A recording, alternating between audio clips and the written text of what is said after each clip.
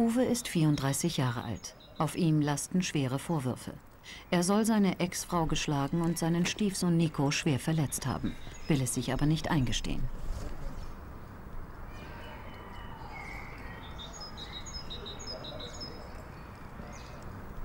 Der zwölfjährige Nico hat aufgrund gewalttätiger Übergriffe den Kontakt zu ihm ganz abgebrochen. Uwes Ex-Frau hat vor Gericht durchgesetzt, dass er die zwei weiteren gemeinsamen Kinder zurzeit nur einmal im Monat sehen darf. Seit drei Jahren ist er mit Manuela zusammen. Die beiden haben einen zweijährigen Sohn. Uwe wünscht sich jetzt wieder mehr Kontakt zu seinen anderen Kindern. Deshalb will er an einem Anti-Gewalt-Programm teilnehmen. Caring Dads, fürsorgliche Väter, so heißt das Programm. Was haben Sie denn jetzt vor? Ja, ich gehe jetzt zu Caring Dads und mal gucken, was mich erwartet. Bin zwar ein bisschen gestresst, aber ich erhoffe mir halt viel davon und ich habe mir damals schon gesagt, wir ziehen es einfach durch und gucken, was uns erwartet hat. Wie sind Sie auf das Programm gestoßen? War das eine Auflage vom Jugendamt? Nee, ich habe mir das selber aus dem Internet rausgesucht, über die Diakonie. Habe dann den Herrn Schulz kennengelernt und er hat mir halt den Tipp gegeben, dass es eine gute Sache wäre, dass es halt ein neues Programm ist und ähm, wenn ich möchte, halt da teilnehmen kann. Und habe mich dann auch da eingeschrieben. Wird er in dem kommenden halben Jahr sein Verhalten wirklich ändern können, um seine Kinder wieder öfter sehen zu dürfen? Eigentlich heißt das ja Caring Dads, fürsorgliche Väter. Und der Untertitel heißt nicht nur Väter wegweisen, sondern in einen Weg weisen. Ne, also ein, sie auf einen Weg bringen, wo sie vielleicht gegenüber ihrer Töchter, ihren Söhnen ein anderes Verhalten zeigen können. Ne, und in einem Vätertraining geht es wesentlich darum, dass sich Väter mit ihrem Vatersein auseinandersetzen. Das Training wird von drei Mitarbeitern der Diakonie in Düsseldorf geleitet. Die Gruppe trifft sich jeden Dienstag, insgesamt 17 Mal. Die meisten von ihnen sitzen wegen Gerichtsauflagen hier. Uwe nimmt freiwillig teil. Ich ziehe das jetzt alles einfach durch und dann sind wir beim Gericht und sage, hier habt ihr die Sachen, die ich gemacht habe. Hier meine Lehre, ich habe mich geändert, habe alles gemacht, was ihr wollt. Könnt ihr hier sitzen oder ärgern Sie sich die ganze Zeit, wenn Sie hier sitzen? Sagen wir so, ich muss viel dafür tun. Das ist auch zwei Jahre her, was ich dafür kämpfen muss und mir wird was reingedrückt, was ich nicht gemacht habe. Und ich habe schon ein Recht, mich darüber aufzuregen. Hilft hilft das Ihnen, sich darüber aufzuregen? Nee, Eigentlich nicht. überhaupt nicht. Weil das ist, dadurch leidet nur meine äh, momentane Familie. Je mehr ich mich da reinsteige, je mehr beunruhige ich sie und je schlimmer wird die ganze Situation an sich. Oh, das war so eine Sache, wo ich noch am Basteln bin, wie es dann wird. Er hat sich sehr viel Mühe gemacht, einen Platz in diesem Vätertraining zu bekommen. Er bestreitet im Moment aber auch noch äh, das schädigende Verhalten gegenüber seinem Sohn. Er bestreitet es nicht grundsätzlich, er kann sich manchmal nicht daran erinnern. Er versucht eine juristische Beweisführung äh, äh, zu führen, um zu zeigen, dass er so ein Unrecht hat, äh, obwohl er selber auch eigene Zweifel hat. Wie geht's Ihnen nach dem ersten Treffen? Wie ist Ihr Eindruck? Ja, so mir schwaben halt viele äh, Sachen im Kopf, ob das wirklich das Richtige ist so und ob ich mein Ziel damit auch erreiche. Weil keiner vom Gericht oder wie auch immer sagte, ja, das ist das, was du machen musst und ähm, dann schauen wir weiter. Ja, Hand. Hand, andere Hand auf. Und eins, zwei, drei. Seinen zweijährigen Sohn John sieht Uwe täglich. Das ist für ihn Familienleben und Vatersein.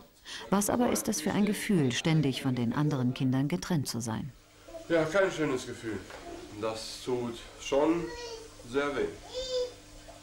Aber da ich meine Ex-Frau sehr gut kenne, weiß ich eigentlich schon, dass es denen gut geht.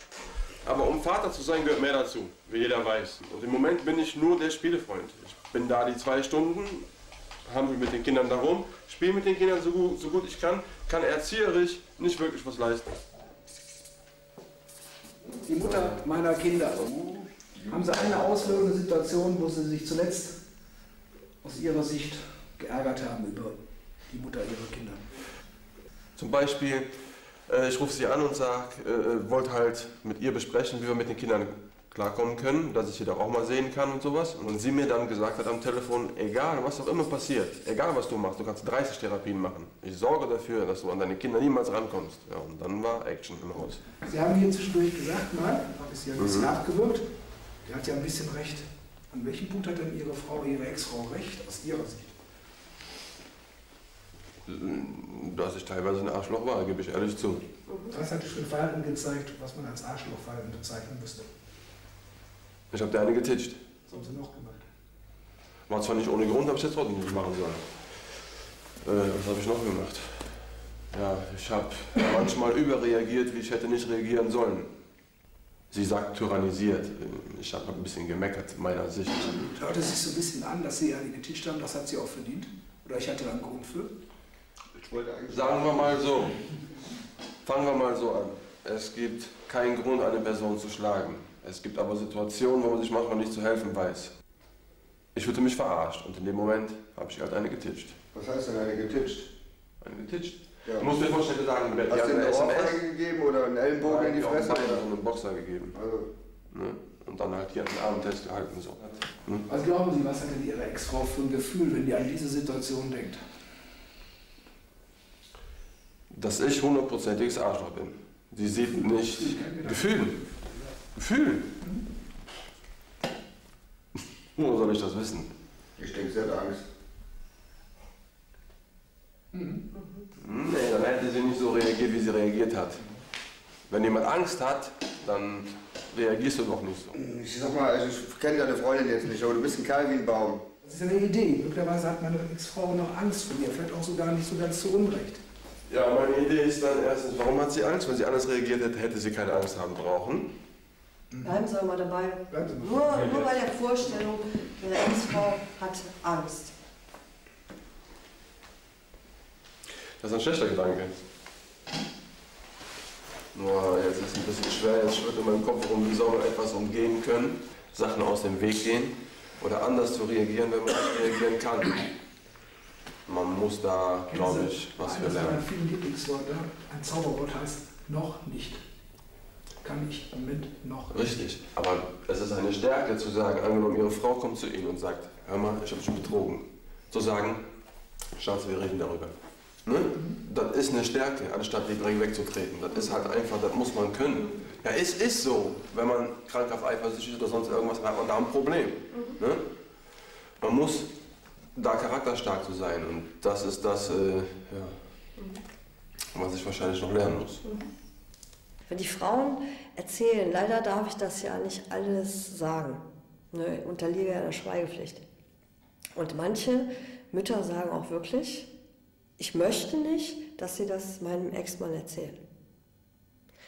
Und dann, okay, dann ist das so. Und dann, was die da erzählen, ist äh, manchmal, dass ich kann ich kaum glauben.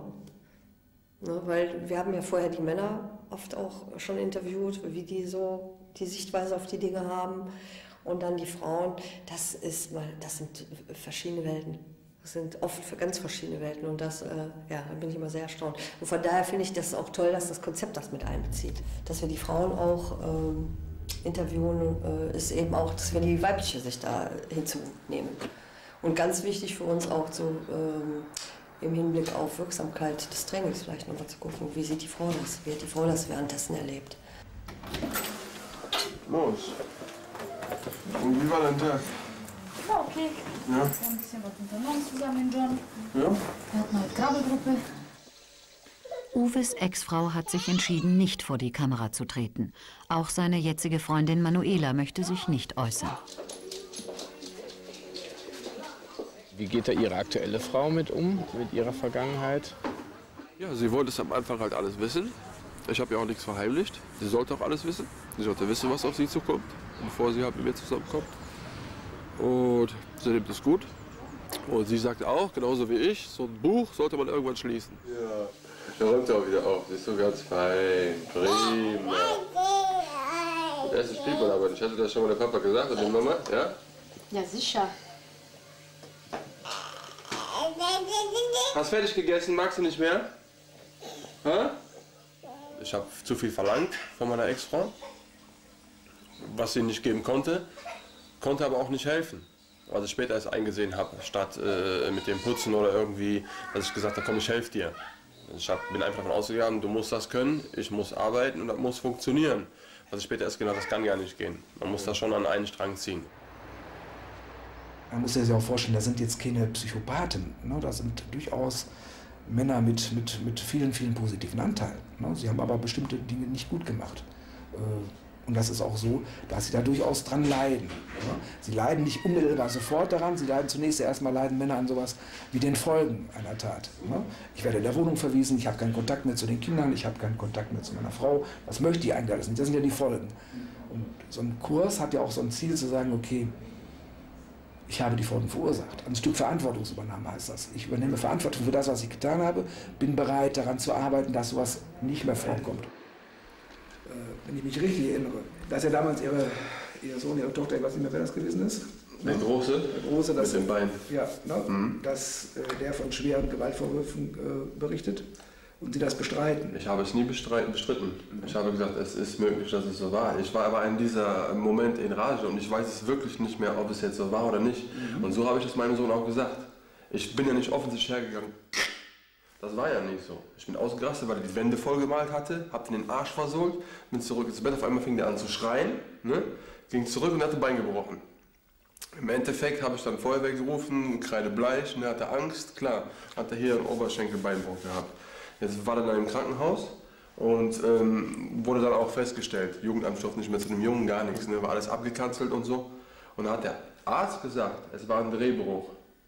Ne, es kann nicht von einem Schlag hergerufen worden sein, weil dann hätte man das Bein nehmen müssen und drehen müssen, weil das Bein eine Fraktur hatte. Und im Endeffekt habe ich an den Arzt geglaubt und habe gesagt, nein, du warst es nicht. Aber alle haben gesagt, ich war es.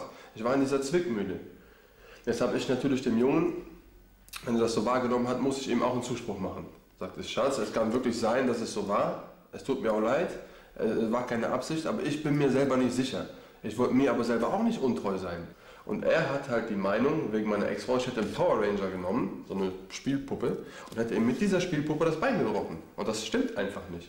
Und wenn ich das abstreite, dann ist das mein gutes Recht, weil das wirklich nicht die Wahrheit entspricht.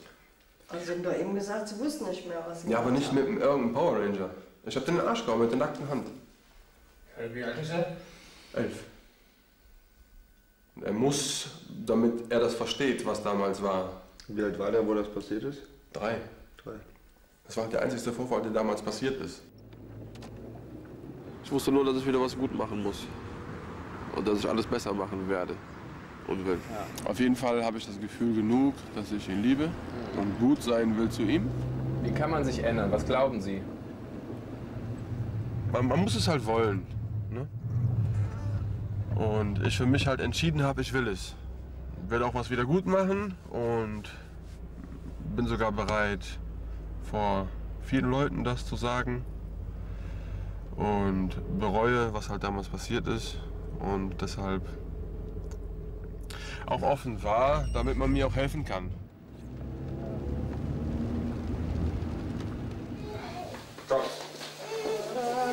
No, chcę popopoleć.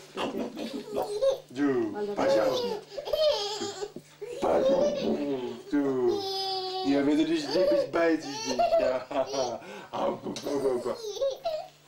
Seit dem Programmbeginn von Caring Dad sind drei Monate vergangen. Jetzt lernen die Väter konkret, wie sie verantwortungsvoll mit ihren Frauen und ihren Kindern umgehen können. Beim letzten Mal haben wir auch noch mal eine Hausaufgabe verteilt. Haben Sie das durchgelesen? Sie haben gesagt, nein. Okay. Ich, ich gebe das einfach nochmal um. Ja, wir lesen es nochmal vor. Haben Sie das schon? Nein. Also es ist Tatsache. Kinder bemerken sehr wohl, wenn ihre Eltern einen Konflikt haben. Selbst wenn sie sich nicht im selben Raum befinden, können sie Schreie, Weinen und Schläge mitbekommen. Sie bemerken auch die Nachwirkungen der Misshandlung wie eine geschwollene Lippe, ein blaues Auge oder wenn man mal krank ist oder Gegenstände kaputt sind. Ich bin wirklich gespannt, was Sie jetzt Also ich für, für Gedanken hatten zu den Auswirkungen. bin persönlich dazu gekommen, dass Kinder doch mehr wahrnehmen, als wir denken. Aha. Und äh, anders wahrnehmen, als wir das denken. Und sehr empfindlich sind. Für was werden sie empfindlich aus ihrer Sicht? Ein Kind sieht nur das, was, was Kind es fühlt was mehr es als sieht. ein Erwachsener. Ein Erwachsener denkt es und ein Kind fühlt es. Grundsätzlich müssen Jungs und Mädels natürlich auch sehen, wenn Eltern sich streiten. Ne? Aber die Art und Weise, wie Konflikte gelöst werden, das ist viel prägender. Ne? Dann, kann man nämlich, dann können Kinder nämlich lernen, wie löst man denn das, wenn man ne, unterschiedlicher Meinung ist. Mich stimmt das auch nachdenklich, wenn die Väter dann von ihrer Kindheit erzählen, dass es im Grunde genommen ja ähnlich auch war. Und wenn wir den Vater befragen würden, wäre es bestimmt auch ähnlich. Also ne, das kann man ja immer zurückverfolgen. Und oft ist es so, dass ja auch deren Kinder auch schon so Tendenzen haben, gewalttätig zu sein und so weiter. Und dass das mal, dass das, es könnte eine Chance sein, das zu unterbrechen. Ja, von Kind auf an war eigentlich sehr äh, äh, harmonisch. Sehr viel Liebe, sehr viel Unterstützung. Ich habe sehr viel eigentlich von allem bekommen, was so sein sollte. Bis zu einem gewissen Punkt. Mein Lebensabschnitt. Und so mit 13, 14 ging es ein bisschen den Berg runter. Da haben meine Eltern sich verkracht gehabt und waren mit sich mehr beschäftigt als mit mir. Wo meine Eltern, sage ich mal, versäumt haben, mir was zu zeigen, wie ich äh, mit Konflikte umgehe, die Konfliktbewältigung. Das lernt man alles von den Eltern. Das kann man nicht einfach irgendwo hernehmen. Ich habe es von mir aus gelernt. Und wie bin ich mit dem Konflikt fertig geworden? Weil ich immer groß und kräftig war, habe mit äh, jungen Jahren schon Judo gemacht, alles war mein Konflikt halt meine Faust. Hat einen falschen Freundeskreis bekommen und da ging alles ruckzuck. Der eine hat gekifft, der eine hat, ist nicht zur Schule gegangen, der andere hat Autos geklaut, der wusste schon wie, war dann ne, polnische Kreise, dann haben wir Autos verschifft irgendwo hin, dann haben wir, was weiß ich, nicht alles gemacht. Und äh, Hauptsache ich war nicht zu Hause. Ja, ist an. Aber guck mal, die Lichter gehen noch. Licht an, an, aus. Wir haben was davon als Väter, als Männer, wenn wir einen guten Kontakt zu unseren Söhnen und Töchtern bekommen. Und ich frage ja dann immer in dem Kurs, möchtet ihr auf der Hochzeit eurer Tochter tanzen? Dann ist möglicherweise die Hochzeit in 22 Jahren. Ne? Das heißt also, wenn ich da tanzen möchte, eine Beziehung zu, meinem, zu meiner Tochter haben möchte, muss ich heute in meine Vaterrolle viel, viel investieren und möglicherweise ein paar Dinge auch mal anders machen. Weil gerade als Mann will man immer ganz schnell Lösungen produzieren. Das kennen Sie ja wahrscheinlich. Und das ist gerade im Umgang mit Frauen manchmal ganz falsch, weil die wollen eigentlich keine Lösung von Ihnen haben, sondern die wollen nur, dass Sie ihnen zuhören. Was könnte eine schwere Situation für Sie sein, bezogen auf das Zuhören? Wenn ich jetzt nach Hause komme, meine Frau mich zuquatscht, bis ich ins Bett gehe, ist eine sehr schwere Situation zuzuhören, weil ich seit 6 Uhr auf bin und nicht einmal zu Hause war und einfach nur meine Ruhe haben will. Das ist eine sehr schwere Situation, weil ich heute genug kommuniziert habe. nee, nee, ich nehme das mal zu Herzen. Das ist mir da richtig bewusst geworden, was ich damals als falsch gemacht habe und ich oft weggehört habe bei meiner Ex-Frau und bei meinem Kleinen. Wenn die mich halt brauchten und ich war halt mit anderen Dingen beschäftigt, anstatt abschalten zu können, habe ich halt die Ohren zugemacht und das war halt der Fehler. Und da sollte man auf jeden Fall immer dran denken, dass man ein guter Zuhörer ist. Klar kann man das nicht immer machen, ne? aber dann sollte man lieber sagen, Moment mal, ich kann jetzt gerade nicht so, lass uns das später machen. Auch wenn man sich liebt, ist das, glaube ich, so das Wichtigste, was ein Partner sich wünscht. Einfach nur verstanden zu werden und, und einen zu haben, der einem zuhört. Wo nehmen Sie eigentlich die Kraft her, dafür zu kämpfen, dass es weitergeht und dass es in eine Ja. positive Richtung Das fragte, fragen einige, unter anderem auch meine Freundin und meine Familie und meine Mutter. Wie schaffst du das alles? Weil es gab ja schon einige Niederschläge. Aber das ist, ich denke, die einzigste Erklärung dafür ist die Liebe zu meinen Kindern. Weil es sind halt meine Kinder und ich liebe die über alles. Und ich würde sehr viel für die tun. ja, ich lasse ja schon los. Du kannst ja alleine drauf. Aber du kommst mit, bitte. Rüber. Ein wichtiger Teil von Caring Dads. Gefühle wahrnehmen. Sie wieder in den Griff bekommen. Darum werden die Väter in unangenehme Situationen gebracht.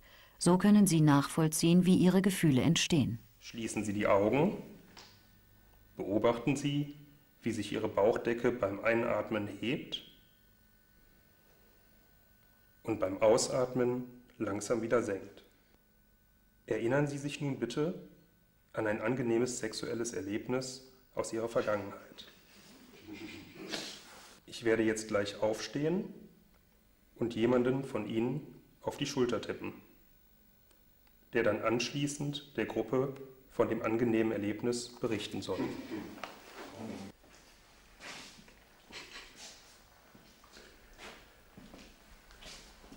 Bitte sagen Sie sich nun, dass Sie die Übung gleich beenden werden. und öffnen Sie dann die Augen. Also ganz, ganz, ganz wichtiger Unterschied. Hier hat sich überlegt, okay, ich hätte was zu erzählen. Ja. Und da, kam, und da kam dann Anspannung oder Stress, so hoffentlich komme ich nicht dran. Und Sie haben sich eigentlich direkt gedacht, ich verweigere mich eh. Und dann kam hier auch kein Stress. mich auch gar nicht so konzentrieren. Genau. Und das ist das, was wir mit der Übung zeigen wollten, ist nämlich, dass unsere Gedanken machen unsere Gefühle. Das heißt, wenn Sie Sachen in einer bestimmten Art und Weise sich vorstellen oder ähm, bewerten, dann bestimmt das halt die Art und Weise, was Sie für Gefühle bekommen und auch wie Sie handeln. Die Väter sollen später das Modell Gedanken erzeugen Gefühle im Alltag anwenden können. Beispiel. Vater fordert die Tochter auf, das Zimmer aufzuräumen. Die Tochter reagiert nicht. Wir führen diesen Ärger und Wut und schreien rum. Was für eine Bewertung könnten wir gehabt haben, damit wir zu dem Verhalten kommen? Wie ich die Situation wahrgenommen haben muss, dass ich anfange sauer zu werden. Dass sie nicht hört. Ja, ja. Doch nicht. Was für einen anderen Gedanken können Sie haben? Wie können Sie die Situation anders interpretieren? Erster Linie mal positiv denken, Ja, was nicht immer negativ denken. Mhm. Was könnte zum Beispiel positiv sein? Ja, positiv wäre zum Beispiel, es muss auf jeden Fall einen Grund geben, warum das nicht tut. Ja, genau. Entweder gucken. ein schlechtes Wohlbefinden, Ja, äh, hat Sorgen, Nöte, will Aufmerksamkeit haben. Das, was Sie da für sich als erwachsener Mann, erwachsener Vater lernen können, ist die beste Investition in die Zukunft Ihrer Kinder. Wenn Sie da ein anderes, möglicherweise etwas andere Sichtweise haben. Ja, der ist schon groß, da muss man sich wirklich doch mal ein bisschen mehr Zeit gucken, nehmen, dass man da mal vormittags kommt. Zweieinhalb Stunden, ein bisschen. Was passiert denn hier heute? Was passiert denn hier heute? Genau. Ja, wir treffen meine Kinder. Und da freuen wir uns schon sehr drauf. Weil es ja immerhin wieder ein Monat her. Ja, und sie müssten eigentlich gleich kommen. Ist das spannend jetzt oder wie, was ist das für ein Gefühl gerade? Ja, ich versuche mich aber zu beruhigen. das ist so ja, ein komisches Gefühl halt, ne? Ein bisschen Aufregung.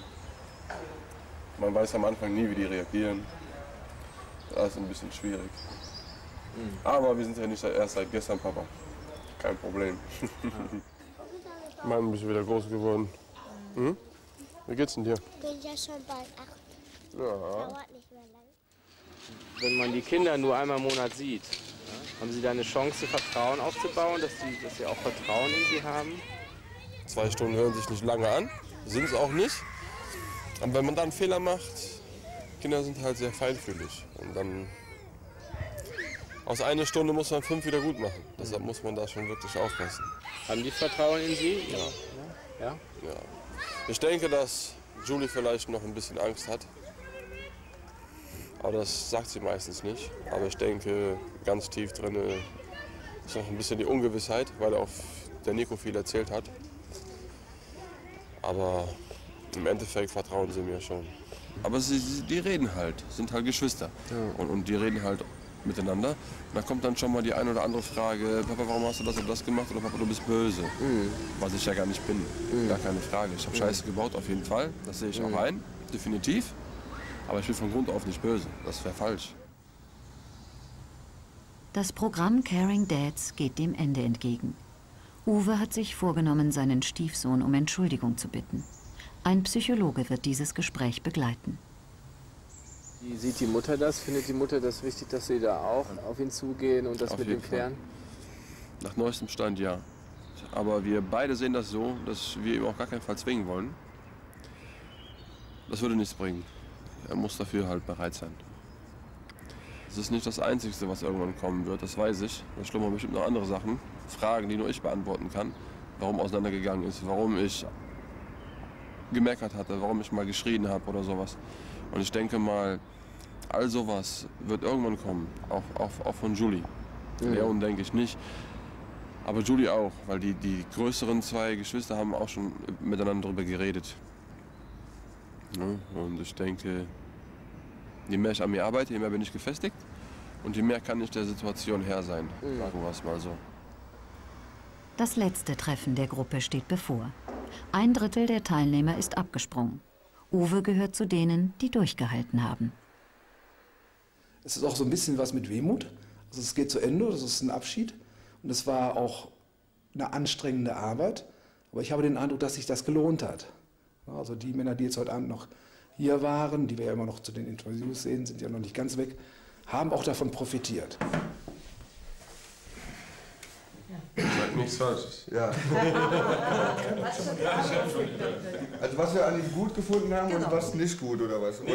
was gut gefunden und was wünschen Sie ihm für die Zukunft? Wo Ja, also gut gefunden habe ich an dem, dass er äh, immer viel mitgemacht hat und auch äh, zwar anfänglich so ein bisschen schwer mit dieser Sache rausgerückt ist, was ja auch ein bisschen verständlich ist, äh, aber dann auch, dann auch dazu gestanden hat und das auch eingesehen hat. Also konkret heißt das, dass er jetzt anerkennen kann, was er gegenüber seinem Stiefsohn vor vielen Jahren begangen hat.